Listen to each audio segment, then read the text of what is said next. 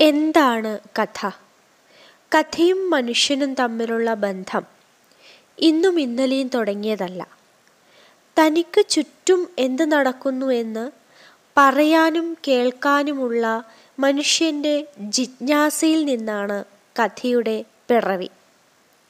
മറ്റ് സാഹിത്യരൂപങ്ങളിൽ നിന്നും വ്യത്യസ്തമായി മനുഷ്യരുടെ ബന്ധങ്ങളുമായി ബന്ധപ്പെട്ട ഓർമ്മകളിൽ തളച്ചതാണ് കഥ എന്ന സാഹിത്യരൂപം. പ്രാഥമികമായി അത് വികാരോത്തേജകമാണ്. രണ്ടാമതേ ബുദ്ധിക്ക് സ്ഥാനമുള്ളൂ. പരത്തി പറയുന്നതിലല്ല ഒതുക്കി പറയുന്നതിലാണ് കഥയുടെ വിജയം. ടോർച്ച് തെളിക്കുന്നത് പോലെ ഒരു ചെറിയ പരിധിക്കുള്ളിൽ ശരിയായ വെളിച്ചം പരത്തുന്നതാണ് ചെറുകഥയുടെ രീതി. നാടകീയ സംഭാഷണങ്ങളോ താത്വിക വിശദീകരണങ്ങളോ കഥയിൽ പൊതുവെ ആവശ്യമില്ല. കഥയുമായി ബന്ധപ്പെട്ട പഴയ ധാരണകളിൽ നിന്ന് ഏറെ മാറിയ കഥകളാണ് ഇന്ന് കാണാൻ കഴിയുന്നത്. ഒരുപക്ഷെ ജേർണലിസവുമായൊക്കെ അടുത്തു നിൽക്കുന്ന വിധത്തിൽ പുതിയ സങ്കേതങ്ങളെ ഉപയോഗപ്പെടുത്തുകയും ജീവിതത്തിന്റെ എല്ലാ തലങ്ങളെയും തൊടുന്ന വിധത്തിൽ ഈ സാഹിത്യരൂപം മാറിയിട്ടുണ്ട്. വാമൊഴിയിൽ കഥ പറയുന്നത് മുതൽ ചൊൽക്കഥകൾ പാട്ടുകഥകൾ കൂത്തിലും കൂടിയാട്ടത്തിലും അവതരിപ്പിക്കുന്ന കഥകൾ തുള്ളലിലെ പുറം കഥകൾ പാഠകത്തിലെ ഉപകഥകൾ വടക്കൻ പാട്ടിലെയും തെക്കൻ പാട്ടിലെയും കഥകൾ തുടങ്ങി വലിയൊരു കഥാപാരമ്പര്യം നമുക്കുണ്ട്. മലയാള സാഹിത്യ വിമർശനത്തിനും സാഹിത്യ സംബന്ധിയായ പത്രപ്രവർത്തനത്തിനും തുടക്കം കുറിച്ച സി പി അച്യുതമേനോന്റെ വിദ്യാവിനോദിനി മാസികയിൽ പ്രസിദ്ധീകരിച്ച കേസരി എന്ന പേരിൽ അറിയപ്പെട്ട വേങ്ങയിൽ കുഞ്ഞിരാമൻ നായനാരുടെ വാസനാവികൃതിയാണ് മലയാളത്തിലെ ആദ്യത്തെ കഥ. തുടർന്ന് ഒടുവിൽ കുഞ്ഞികൃഷ്ണമേനോൻ അമ്പാടി നാരായണ പൊതുവാൾ മൂർക്കോത്ത് കുമാരൻ സി എസ് ഗോപാലപ്പണിക്കർ തുടങ്ങി അനേകം കഥാകൃത്തുക്കൾ കഥയുടെ ഒന്നാം ഘട്ടത്തിലെത്തി. പൊതുവെ പരത്തി പറയപ്പെട്ട ഈ കഥകളിൽ അത്ഭുതം സാഹസം വിനോദം സങ്കല്പം എന്നിവയ്ക്കാണ് പ്രാധാന്യം നൽകിയത്. സാമൂഹിക പ്രശ്നങ്ങളിൽ നിന്ന് അവർ അകന്നു നിന്നു. ആയിരത്തി എണ്ണൂറ്റി തൊണ്ണൂറ്റൊന്ന് മുതൽ ആയിരത്തി തൊള്ളായിരത്തി ഇരുപത്തഞ്ച് വരെയുള്ള മുപ്പത്തഞ്ച് വർഷം മലയാള കഥയുടെ ആദ്യഘട്ടമായി എടുക്കുന്നതാവും കൂടുതൽ സൗകര്യം. ആദ്യകാല മലയാള ചെറുകഥയെയും ആധുനിക മലയാള കഥയും ബന്ധിപ്പിക്കുന്ന കണ്ണികളായാണ് E V Krishna Pillai V T Bhattathiripad Bhavathradan Namboothiripad എന്നിവർ രംഗത്തു വരുന്നത്.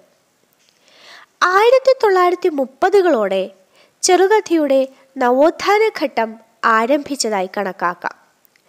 ആയിരത്തി തൊള്ളായിരത്തി ഇരുപതിന് ശേഷമുള്ള ദേശീയ പ്രസ്ഥാനവും ഗാന്ധിജിയുടെ നേതൃത്വത്തിലുള്ള സ്വാതന്ത്ര്യ സമരവും ഗാന്ധിയൻ സാമൂഹിക വീക്ഷണവും പടിഞ്ഞാറൻ നാടുകളിലുണ്ടായ ശാസ്ത്ര സാങ്കേതിക വളർച്ചയും ആയിരത്തി തൊള്ളായിരത്തി മുപ്പത്തിയാറിൽ ലക്നൌവിൽ രൂപവൽക്കരിച്ച ഇന്ത്യൻ പ്രോഗ്രസീവ് റൈറ്റേഴ്സ് അസോസിയേഷന്റെ തുടർച്ചയായി കേരളത്തിലുണ്ടായ പുരോഗമന സാഹിത്യ പ്രസ്ഥാനവും ശ്രീനാരായണ ഗുരു ചട്ടമ്പി സ്വാമികൾ അയ്യങ്കാളി എന്നിവർ നടത്തിയ സാമൂഹിക പരിഷ്കരണ പ്ര പ്രവർത്തനങ്ങളുമൊക്കെ കേരളത്തിൽ ചെറുകഥയുടെ നവോത്ഥാനത്തിന് തുടക്കം കുറിച്ചു.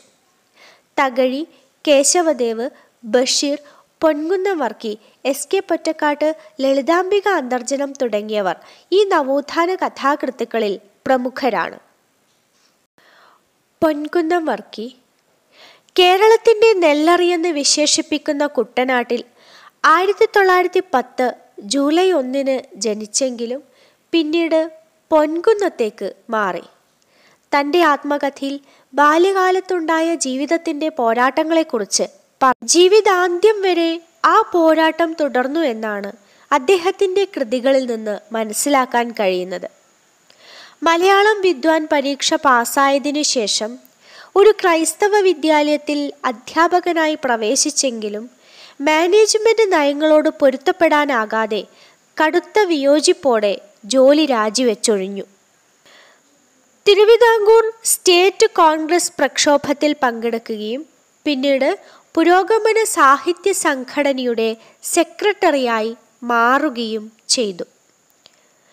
ഇരുപത്തി ഒൻപതാമത്തെ വയസ്സിൽ തിരുമുൽ കാഴ്ച എന്ന കവിതയുമായാണ് പൊൻകുന്നം വർക്കി രംഗത്തു വരുന്നത്. പക്ഷേ ഏറെ വൈകും മുമ്പേ കവിതയല്ല തന്റെ തട്ടകമെന്ന് അദ്ദേഹം തിരിച്ചറിഞ്ഞു. തനിക്ക് പലതും വിളിച്ചു പറയാനുണ്ട് ശക്തമായി വിമർശിക്കാനുണ്ട് ചോദ്യം ചെയ്യാനുണ്ട്.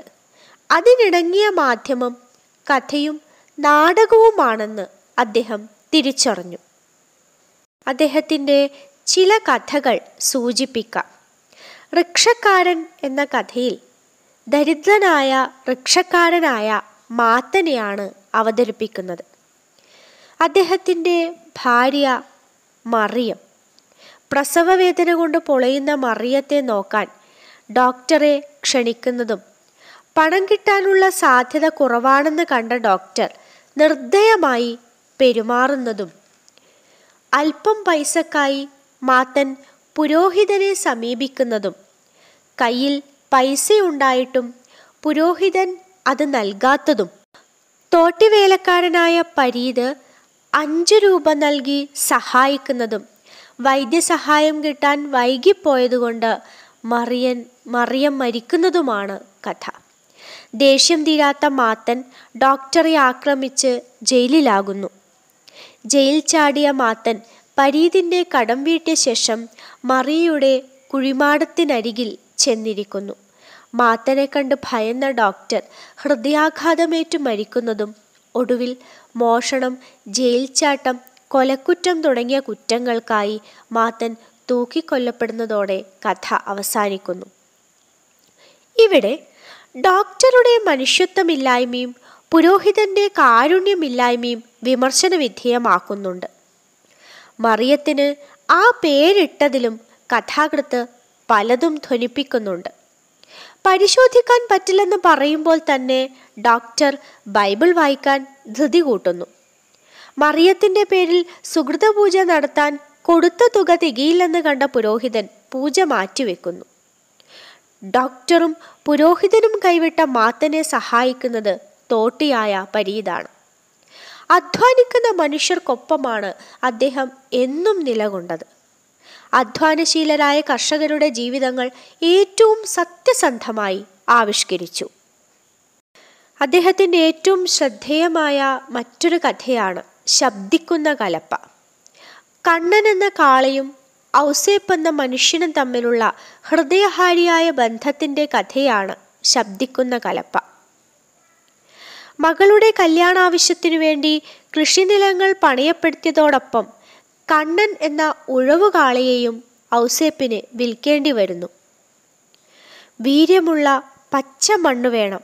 ആ മണ്ണില്ലെങ്കിൽ മനസ്സ് പൊരിയുമെന്ന അവസ്ഥയിൽ അയാൾ വയനാടൻ കാടിലേക്ക് പോകാൻ ഒരുങ്ങുന്നുണ്ട് മകളെ ഭർത്തഗൃഹത്തിലേക്ക് അയക്കാനുള്ള പൈസയില്ലാതെ വിഷമിക്കുമ്പോഴാണ് ഭാര്യയ്ക്ക് ഒരു ചിട്ടിപ്പണം ലഭിക്കുന്നത്. ആ സമയത്ത് അറവശാലയിലെ കയക്കാൻ മുനിസിപ്പാലിറ്റിക്കാർ മുദ്രകുത്തിയ രോഗാവസ്ഥയിലായ കണ്ണനെ ഔസേപ്പ് കാണുന്നു. കർഷകൻ കയ്യിലുള്ള തുക കൊടുത്ത് കണ്ണനെ വാങ്ങിയെങ്കിലും പിറ്റേന്ന് ആ കാള മരിക്കുകയാണ്. നവോത്ഥാനപരമായ ഉണർവിനെ ഉയർത്തിപ്പിടിക്കുന്ന കഥയായി എക്കാലത്തും നിലനിൽക്കുന്നുണ്ട് ശബ്ദിക്കുന്ന കലപ്പ. ബാക്കിയായ ചില ശബ്ദങ്ങളിലാണ് കഥ അടയാളപ്പെട്ടു കിടക്കുന്നത്. കൃഷിയെയും കന്നുകാലികളെയും സംരക്ഷിക്കാത്ത ഒരു വ്യവസ്ഥിതിയെ പലപ്പോഴായി കഥയിൽ ചോദ്യം ചെയ്യുന്നുണ്ട്. വള്ളിച്ചെരുപ്പ് അവളുടെ വോട്ട് തുടങ്ങിയ തികച്ചും രാഷ്ട്രീയമായ കഥകളും പൊൻകുന്നം വർക്കി എഴുതിയിട്ടുണ്ട്.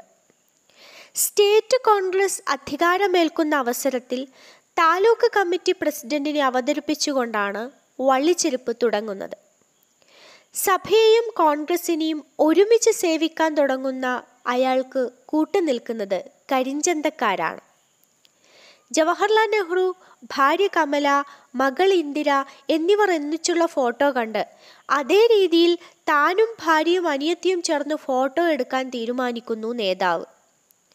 കമൽ അണിഞ്ഞിരിക്കുന്നത് പോലുള്ള ചെരുപ്പ് വാങ്ങാൻ ശ്രമിച്ച് പരാജയപ്പെടുമ്പോൾ വള്ളിച്ചെരുപ്പ് വാങ്ങുന്നു.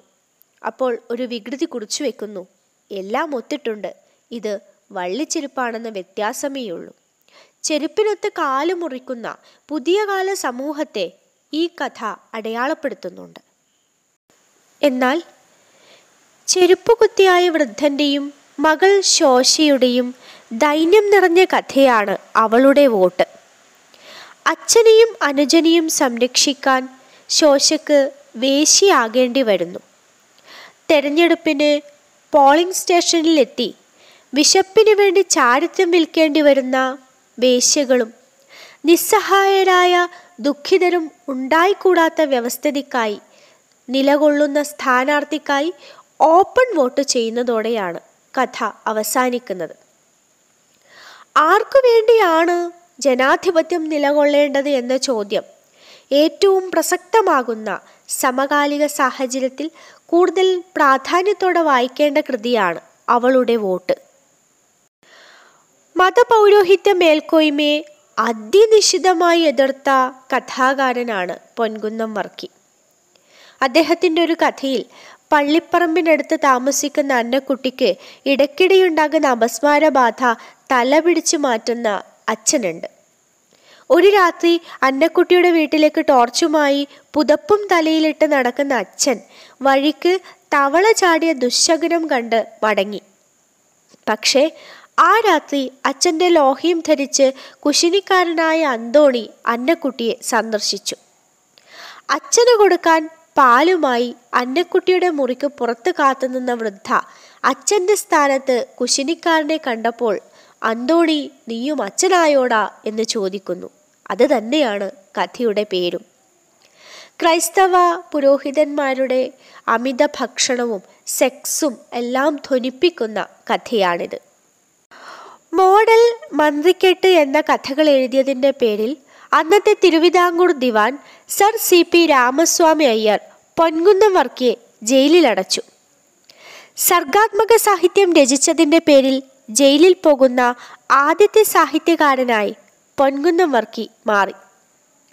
സി പി ഫ്രാൻസിസ് എന്ന തയ്യൽക്കാരന്റെ അടുത്ത് അമേരിക്ക അടക്കമുള്ള വിദേശ രാജ്യങ്ങളിൽ നിന്ന് വിദഗ്ധവും ശാസ്ത്രീയവുമായ തുന്നൽ അദ്ദേഹം പഠിച്ചിട്ടുണ്ടത്രേ. ഇയാളുടെ അടുത്ത് ഷർട്ട് തയ്പ്പിക്കാൻ വരുന്ന പാപ്പാൻ എന്ന സാധാരണ മനുഷ്യന്റെ കഥ മോഡൽ. പാപ്പൻ ആവശ്യപ്പെട്ട രീതിയിലുള്ള ഷർട്ട് ആയിരുന്നില്ല ഫ്രാൻസിസ് തയ്ച്ചു വെച്ചത്.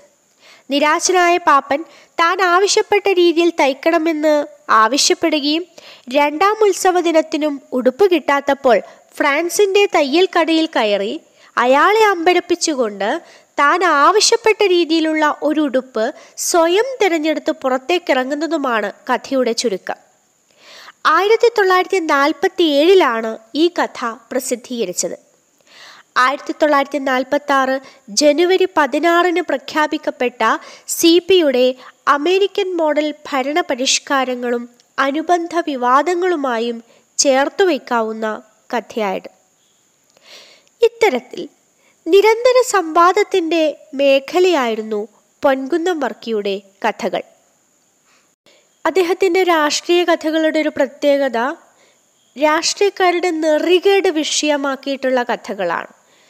അതായത് അധികാരം ഒരു വാതിലിലൂടെ അകത്തേക്ക് കടക്കുമ്പോൾ ആദർശം മറുവാതിലൂടെ പുറത്തേക്ക് കടക്കുന്ന കാഴ്ച അവതരിപ്പിക്കുന്നുണ്ട്. എന്റെ സമരപ്രതിജ്ഞ ഇടിവണ്ടി ഡെമോക്രസി തുടങ്ങിയ കഥകൾ ഉദാഹരണങ്ങളാണ്. ഇനി മതം ആണെങ്കിൽ മതത്തെയല്ല മതത്തിന്റെ പേരിൽ മനുഷ്യരെ ദ്രോഹിക്കുന്ന ഇടനിലക്കാരിയാണ് എന്നും വർക്കി തീവ്രമായി വിമർശിച്ചത്. ദൈവത്തിന്റെ അംബാസിഡർമാരായി നടിക്കുന്ന പുരോഹിത കാപട്യങ്ങളാണ്. അമ്മേ അച്ഛൻ എവിടെ എന്നുള്ള കഥയിൽ അച്ഛൻ എന്നത് ആരാണെന്ന് നമുക്ക് ഊഹിക്കാൻ പറ്റും. പാളങ്കോടൻ ഫാദർ പാളങ്കോടനെ അവതരിപ്പിക്കുന്നുണ്ട്. കുറ്റസമ്മതം എന്ന കഥയും മറ്റൊരു ഉദാഹരണമാണ്. മറ്റൊന്ന് അധികാരമതം മൂലം മനുഷ്യരെ ചതച്ചരക്കുന്ന ഉദ്യോഗസ്ഥരെ പ്രതീകാത്മകമായ ഹാസ്യവിമർശനം നടത്തുന്ന കഥകളാണ്. വാഴവെട്ട് സ്നേഹിതന്മാരെ നിങ്ങൾ മുന്നോട്ടു പോകുക തുടങ്ങിയവ ഉദാഹരണങ്ങളാണ്. അദ്ദേഹത്തിന്റെ കഥകളിൽ പലപ്പോഴും പ്രതിസ്ഥാനത്ത് വരുന്നത് പണവും സെക്സുമാണ്. അദ്ദേഹത്തിന്റെ ദൃഷ്ടിയിൽ ഏറ്റവും വലിയ തെറ്റ് എന്ന് പറയുന്നത് കാമമല്ല പണത്തിന്റെ മേൽക്കോയ്മയാണ്. കഥകൾ കൂടാതെ നാടകങ്ങളും ചലച്ചിത്ര തിരക്കഥകളും അദ്ദേഹം എഴുതിയിട്ടുണ്ട്. സാധാരണക്കാരന്റെ വികാരങ്ങൾക്ക് അക്ഷരഭാഷ്യം നൽകിയ മുനകൂർപ്പിച്ച സംഭാഷണങ്ങൾ അദ്ദേഹത്തിന്റെ നാടകങ്ങളുടെയും തിരക്കഥകളുടെയും പൊതുവായ പ്രത്യേകതകളാണ്. ഈ മഹാനായ കലാകാരനെ കേരള സാഹിത്യ അക്കാദമി വിശിഷ്ടാംഗത്വം നൽകി ആദരിച്ചിട്ടുണ്ട്. വള്ളത്തോൾ പുരസ്കാരവും എഴുത്തച്ഛൻ പുരസ്കാരവും ലഭിച്ച അദ്ദേഹം ദീർഘകാലം സാഹിത്യ അക്കാദമി പ്രസിഡന്റായിരുന്നു. യുക്തിഭംഗം തോന്നാമെങ്കിലും എന്റെ പ്രതിഷേധം പ്രകടിപ്പിക്കാൻ വേണ്ടിയാണ് ഞാൻ എഴുത്തുകാരനായത്. എനിക്ക് പ്രതിഷേധിക്കാൻ കാര്യങ്ങളുണ്ടായി. അതുകൊണ്ട് ഞാൻ എഴുത്തുകാരനുമായി എന്ന് അദ്ദേഹം പറഞ്ഞിട്ടുണ്ട്. അതെ പ്രതിഷേധമാണ് പൊൻകുന്നം വർക്കിയുടെ കഥകളുടെ ജീവൻ. ആ പ്രതിഷേധത്തിനുണ്ടായിട്ടുള്ള ആത്മാർത്ഥതയുടെ ചൂടും വെളിച്ചവുമാണ് പുതിയ കാലത്തും അദ്ദേഹത്തെ നിരന്തരം വായിപ്പിക്കാൻ വായനക്കാരെ പ്രേരിപ്പിക്കുന്ന ഘടകവും. നന്ദി.